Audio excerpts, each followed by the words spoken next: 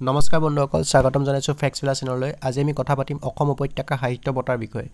অসম উপত্যকা সাহিত্য বঁটা হৈছে অসমীয়া সাহিত্যৰ সৰ্বোচ্চ সাহিত্য পুৰস্কাৰ।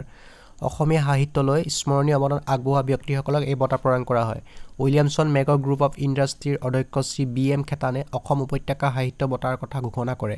ঊনৈছশ নব্বৈ চনত ঘোষণা কৰা এই বঁটাপ্ৰাপ্ত প্ৰথম লেখকগৰাকী হৈছে ডক্টৰ ভৱেন্দ্ৰনাথ শইকীয়া।